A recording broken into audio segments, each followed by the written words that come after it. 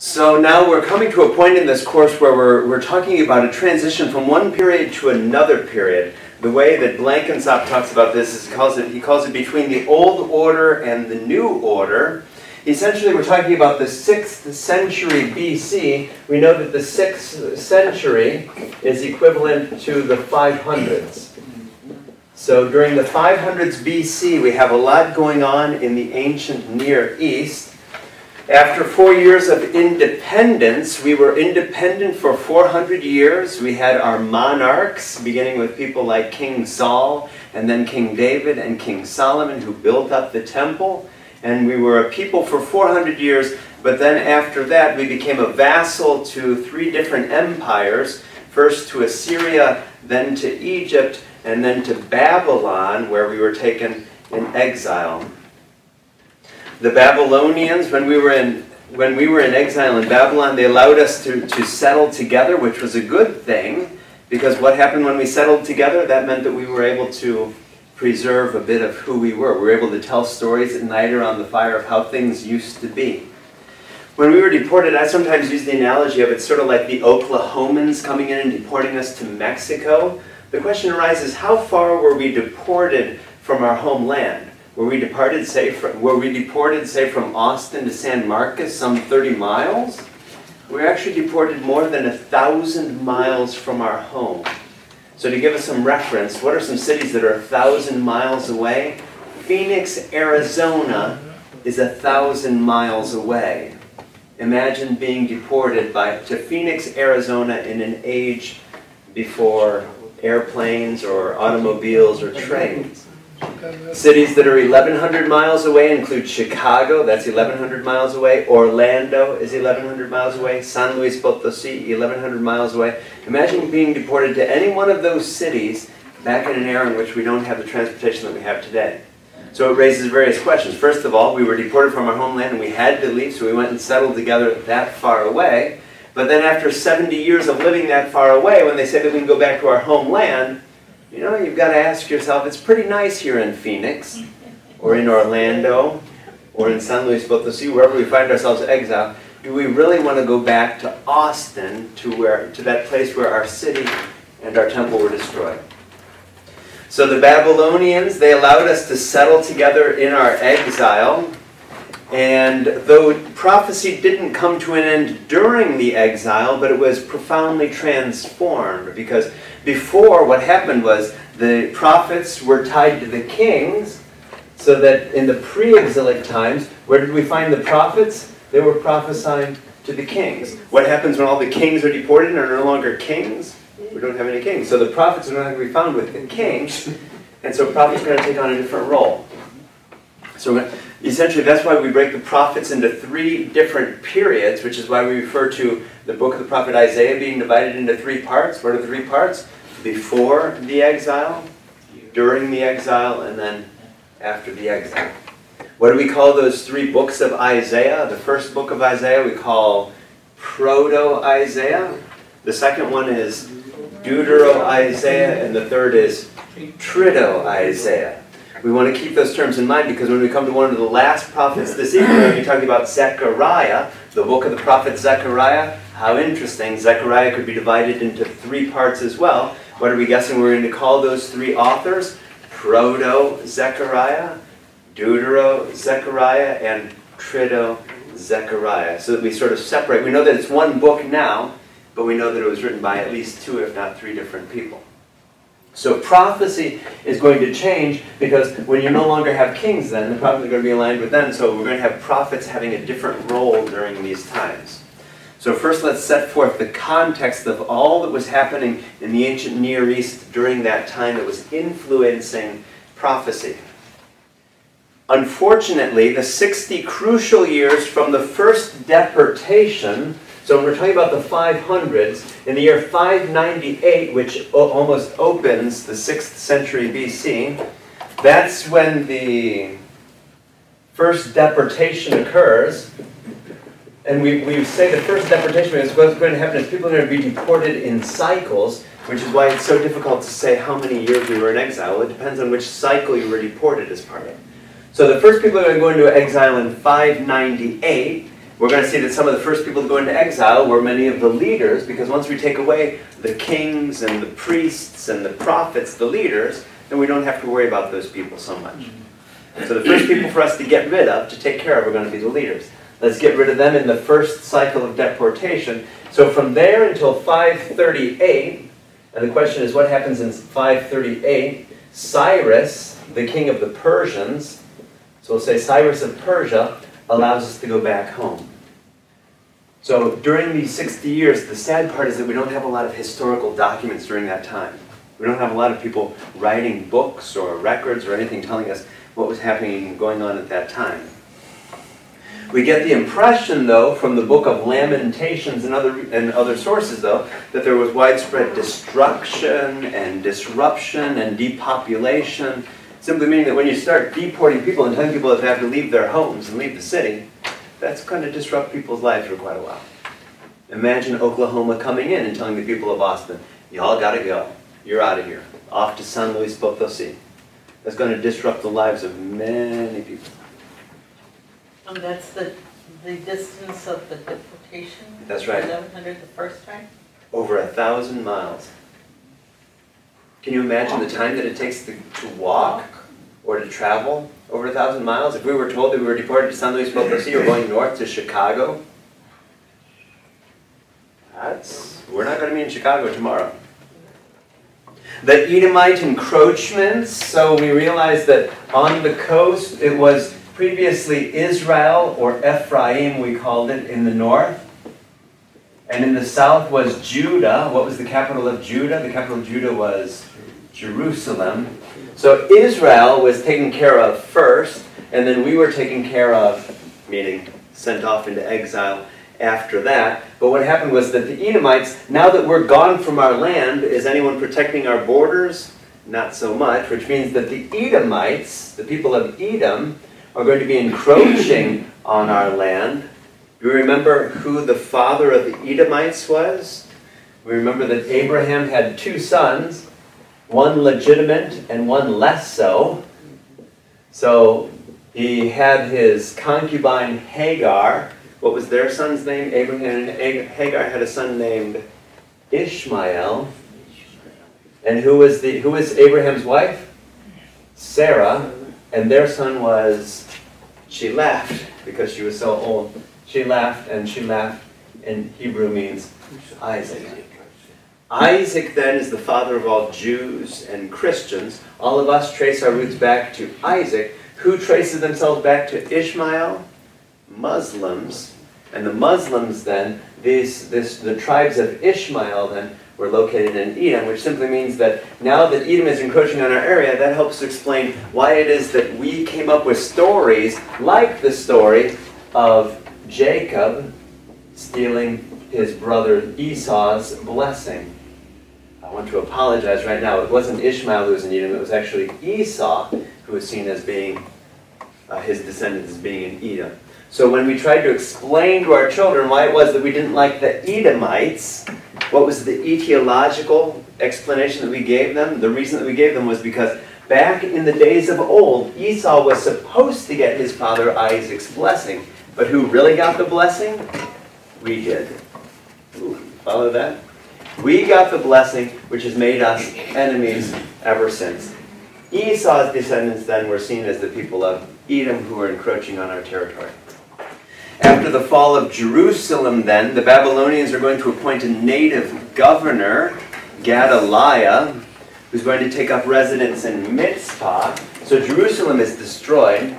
What they're going to do is they're going to destroy our, our capital and our temple. So he's not going to be in our capital, Jerusalem. He's actually going to set up another capital, which is going to be about seven miles north. Gedaliah is, was sympathetic to Jeremiah, whom we studied last week, which leads us to believe that he belonged to the peace party during the reign of King Zedekiah. But this Gedaliah, who set up the government seven miles north of Jerusalem, was later assassinated during a failed revolt by Ishmael, not to be confused with this Ishmael centuries earlier. Another revolt led by another Ishmael, a member of the royal family, which led to the deportation and the reassigning of lands. That is to say, so long as the people are getting along here and are paying us our tributes and are being loyal, we don't have to worry about them so much. But if there's an uprising in the land, then we're going to take care of business. And so when Ishmael led a revolt, then that led to more deportations. Conflict ensued between the natives and between second and third generation Babylonians when they were allowed back. So let's think about it for a moment. So we're deported a thousand miles away. What's going to happen when we're finally allowed back? Of all of us in the room, we're going to be looking around the room and asking one another, you going back? I'm not sure if I'm going back. You going back?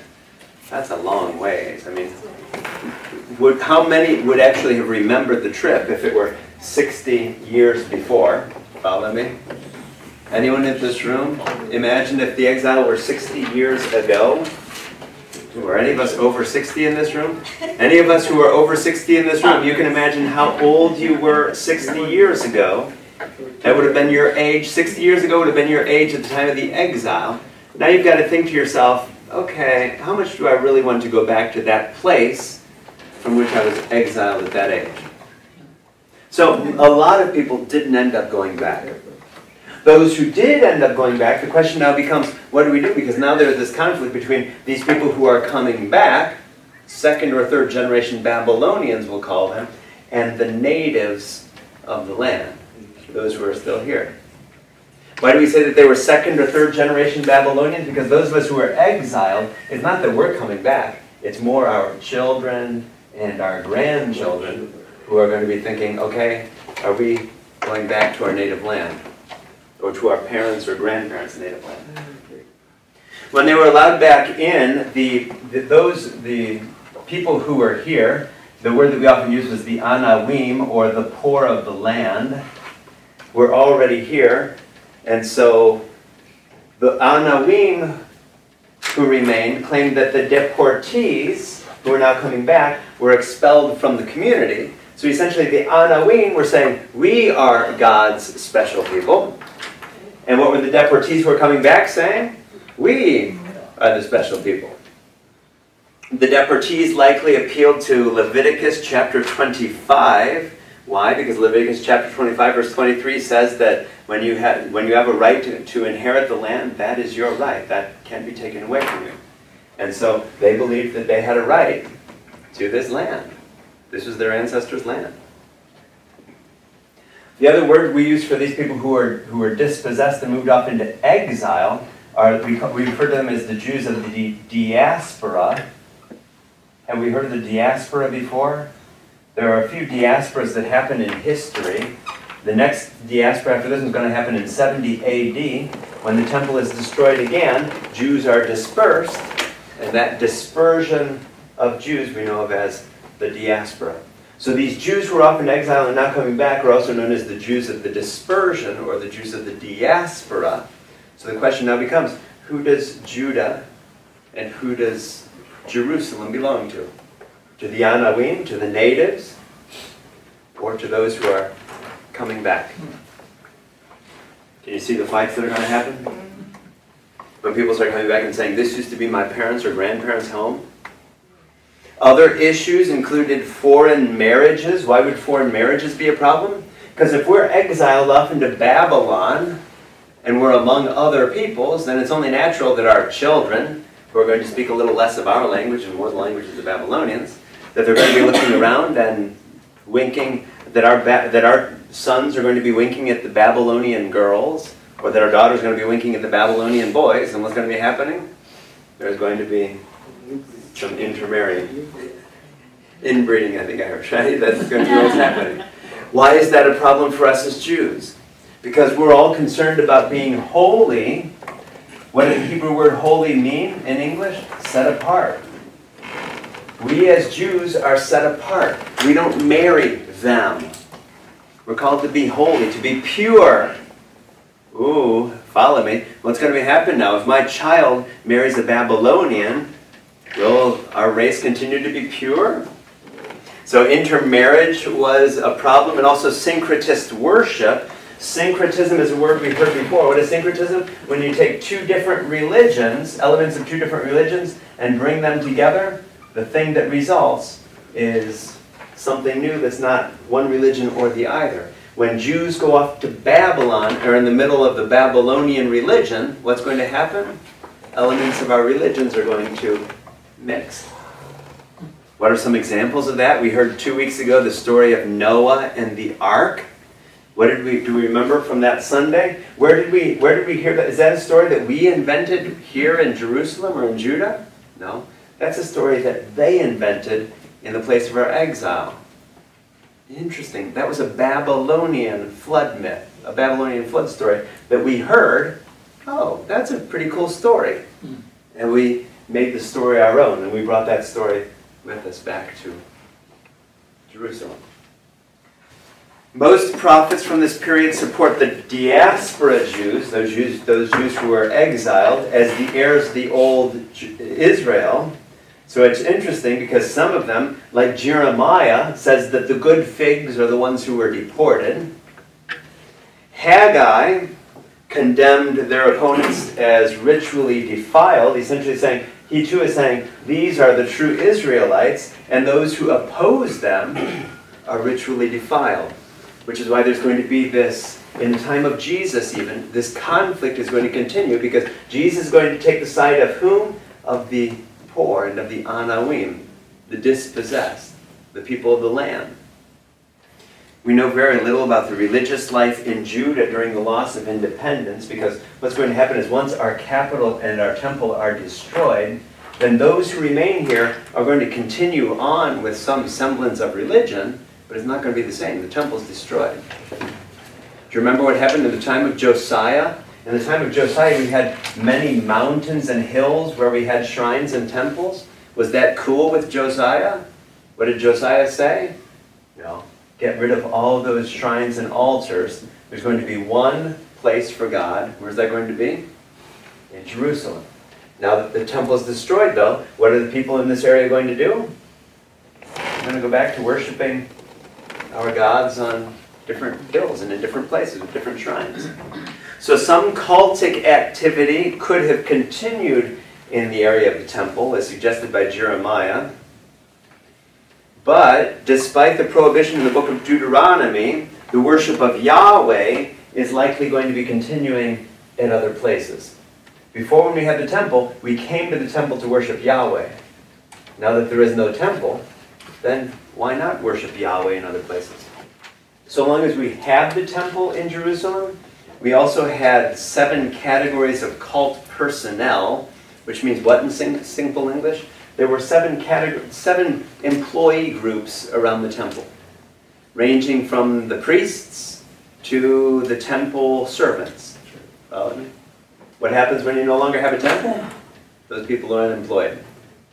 So what happened to those seven categories of employees during this period, we're not quite sure.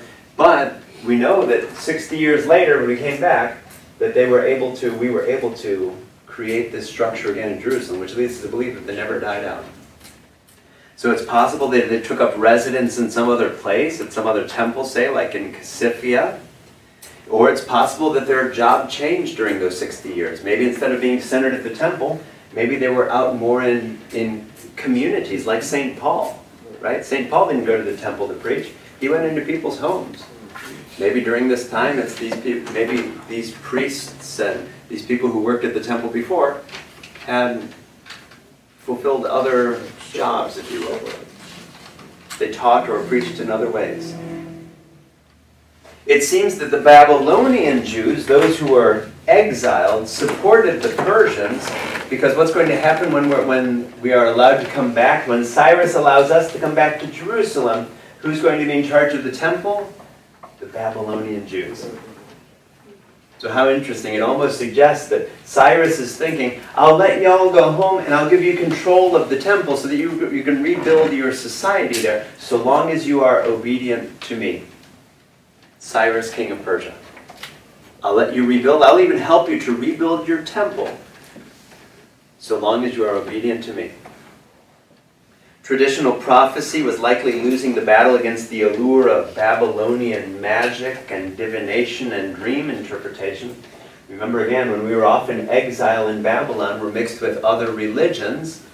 And so we're going to see other people in their culture doing different, right? We're going to see the palm readers and the fortune tellers and the tarot card readers of their society. And there are going to be certain people among us who frankly, are going to be turning to them from time to time. Right? Jeremiah and Ezekiel bracket their prophecy with divination. Ezekiel shares a polemic against women prophets or prophetesses. He talks about them wearing shawls and tying bands around their clients' wrists while pronouncing spells. So he sort of gives this image of how it was that he wasn't the only prophet in town. He was competing against others who had these rituals. For instance, when you went to one of these women prophets, according to the Ezekiel, the image he gives you is that, that, that this prophetess would tie your hands and would put on her shawl and would begin doing her thing. She'd begin doing her thing. We'd already talked about how it was that pre-exilic prophecy was tied to the monarchy, to the kings, and so with the loss of the monarchy then, how it is that prophecy declined. But also, there's another shift during this time that with our contact with the Babylonians, the Babylonians are writing things down, like their Enuma Elish, their flood stories, for instance. They were writing all of these things down. What was the difference with us up until this time? Were we writing things down? We were just saying things. The prophets would come and, sell, and say things, which is why when we saw how the Babylonians wrote things down, what did we start to do? We started to write things down. What were some of the things that we started to write down? What are the first five books of the Bible, the Pentateuch? We started to write these things down. Wow, this is how we're going to preserve our holiness, our purity, being among this other people. We're going to write these stories of who we are and where we come from and these rules for how we're going to live together. About 600s BC. 600, first written down why is that interesting? Because there are going to be certain books, like the book of Genesis. We, we know, for instance, that the book of Deuteronomy is going to be the first scroll that's discovered. The first scroll that's discovered, we've talked about that before during the reform of King Josiah. He decided to start a reform, and five years later, they discovered the book of Deuteronomy. So we have that book, but the other books that are part of the Pentateuch, for instance, the book of Genesis, that's going to talk about events that happened some say with, with uh, Abraham around 800, 1800 BC, Moses somewhere around, say, 1200 or 1150 BC, the monarchy of David around 1000 BC, all of these events that took place centuries before, we're now going to start writing down the stories. Were we writing down the stories as they took place? When we read the book of Genesis, was that written when Abraham was walking this earth? That was written a long time later we dare say, some 1,200 years later. Can you imagine writing a book about something that happened 1,200 years ago? That's a long time ago. But it's our contact with the Babylonians who are writing things down, which makes us think, wait a minute, we can, they write down their stories so that people can read them. If we were to write down our stories and our laws, then we'd be able to share them with others too. So is it correct to say that we already knew how to write? We meaning we as Jews or we as human beings? So human, human writing was being invented around this time. And it's simply, I, am I would, I would, I would dare say that when we're off in exile, that that's something that we're learning from other people. Look at that. We've just been talking to one another all this time. Just imagine if we learned to write things down. I could write down the, the things that I have to go shopping for rather than having to remember them. Whoa. Okay, maybe it was a different era back then. It's not coming from the Greeks? Or, no, it was it's not coming from the Greeks. It's coming here in the, in the, the ancient Near East. Hmm. What was their language? Excellent question. So there were various there were various tribes and peoples, of course, throughout here. So when for instance, when you hear the Phoenician alphabet, the Phoenicians, of course, were one group of peoples living in this part of the world at this time, who were ones who were figuring out okay how to take how to take the sounds that they were speaking and writing them down. The Phoenicians, the Babylonians. It'd be interesting to see what language they were speaking. Was it some form of Sumerian? It would be interesting to know what, what the Babylonians were speaking at that time. Did they call it? It would be interesting to know. Isn't the modern day alphabet like so more or less based on the Phoenician alphabet? That's right. right? That's right. Evolved. The English alphabet is based on the Phoenician alphabet, essentially saying that we take sounds and we give each sound a, a symbol. Is it the same in Chinese? Hmm. No, very different, right? They have different symbols, and if you look at the symbol, you have no idea how to pronounce it. If you look at Spanish, you, there are certain rules that say this, this letter makes this sound. Oh, okay. So that's what these people were doing back in this age. They're learning how to write, which means that once we learn how to write, what does that give us the, the power to be able to do? To start recording the stories that they're telling. Before it was just Deacon John telling us these stories around the campfire at night. But now that I've learned to write, I can say, Deacon John, tell us another story. And as he's telling the story, I can be capturing this story in writing. Wow. So imagine the stories. Deacon John's a good storyteller. Imagine the stories we're going to be capturing. Which is why when we start writing down a book like the, the uh, book of Genesis, remember back to our introduction to, the, to Scripture? We were talking about various sources. We were talking about J and P, for instance, in the book of Genesis. How was that? We can tell that different people wrote different parts of the book of Genesis. Well, some of those writers, for instance, the J that we referred to is the Yahwist writer. How interesting that during this time the priestly classes, of course, the priests were, were say, a bit more educated than the people of the land, right?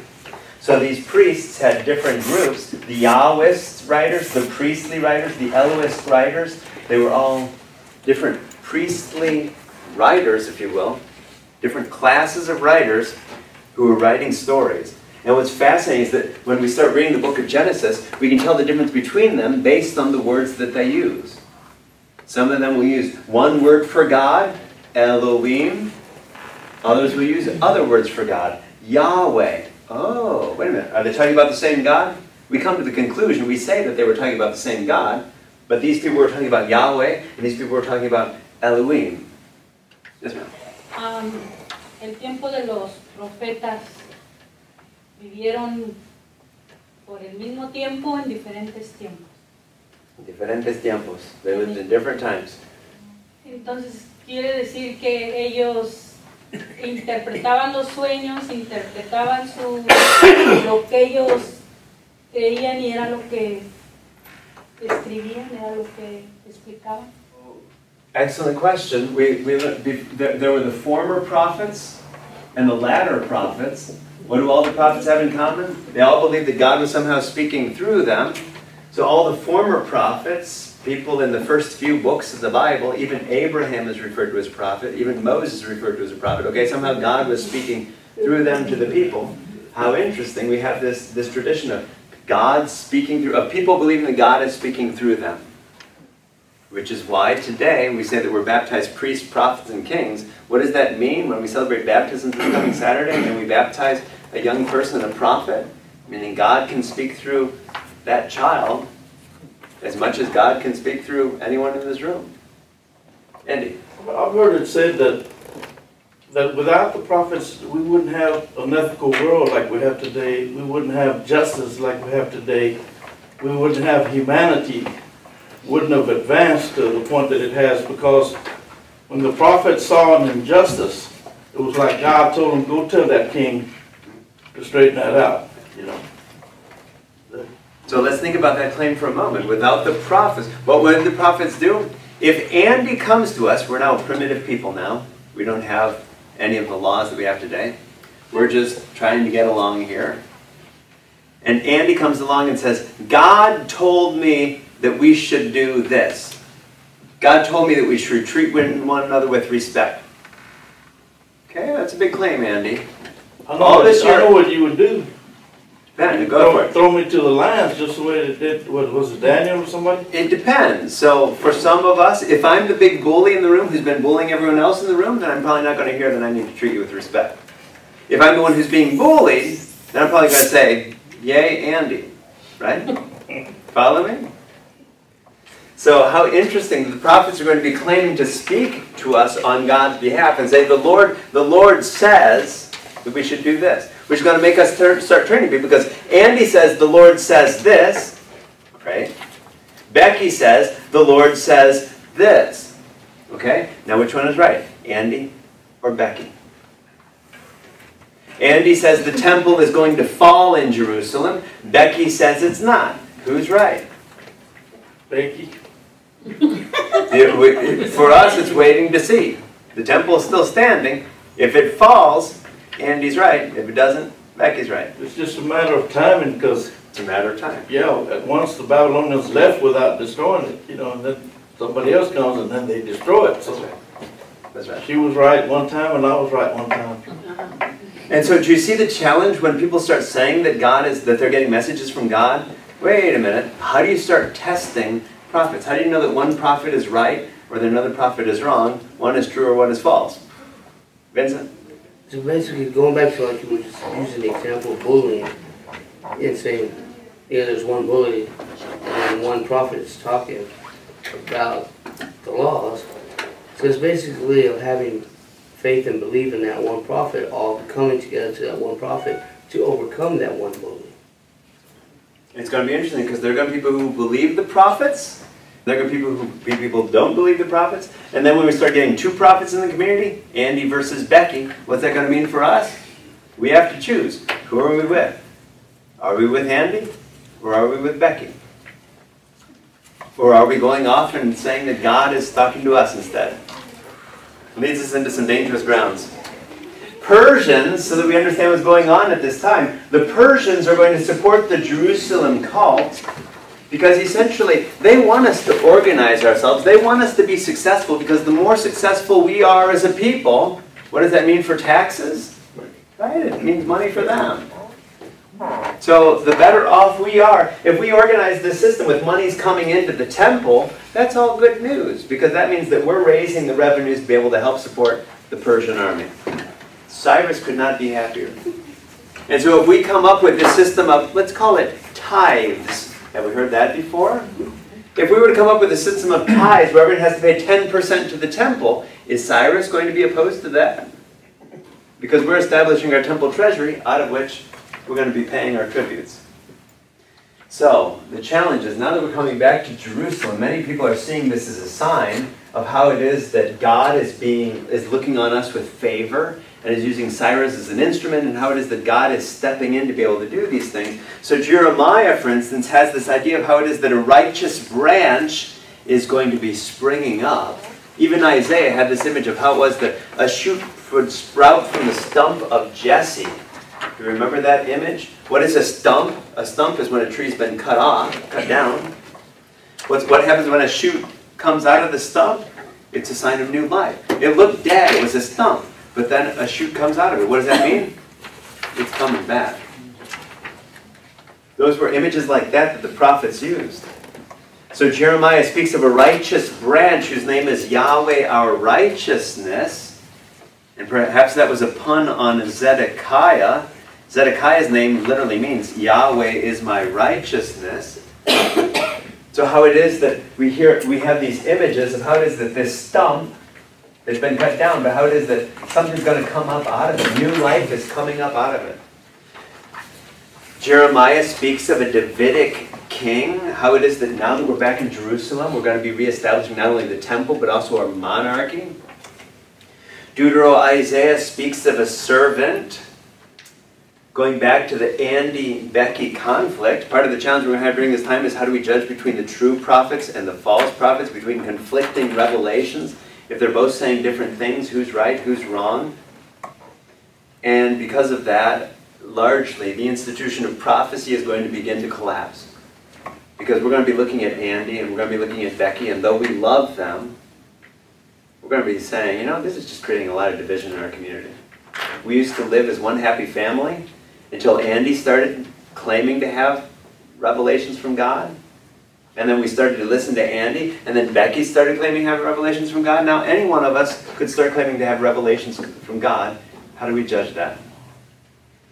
Jerusalem, our city, was identified with Sodom in, prof- in prophetic diatribes.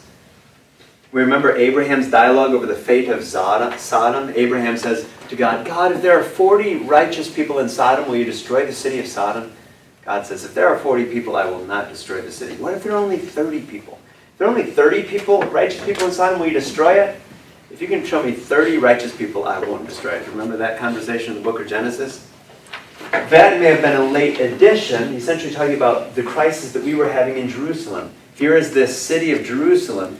If Jerusalem is a righteous city, if there are 40 righteous people, would God allow the city to fall?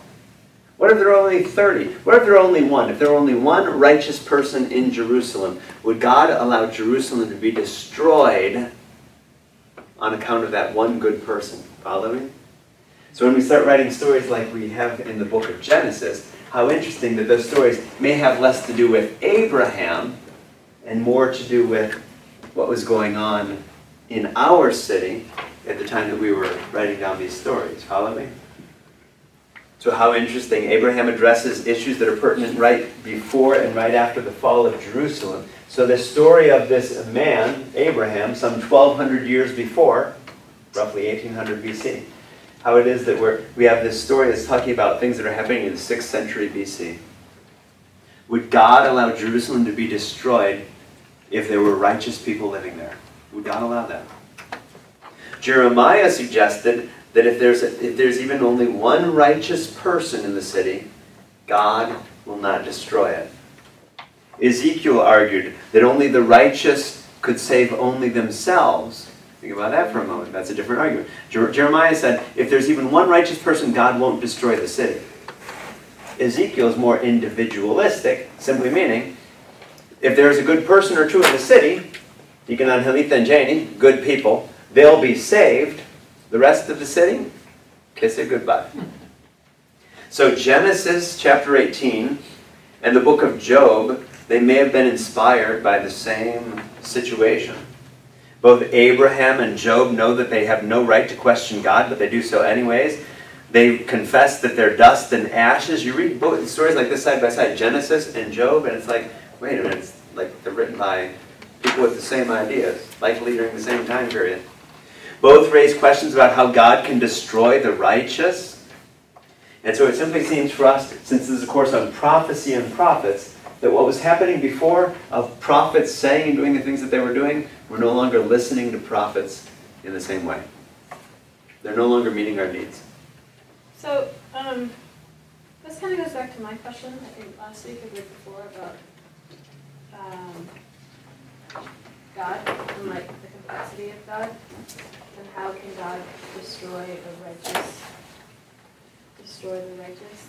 Like when there's the presence of one righteous person and then Ezekiel saying that only the righteous, but the righteous really save themselves. How do I think more about that? The fancy word that we use for that is theodicy, which simply means how can God allow evil in this world and how, how does God deal with evil?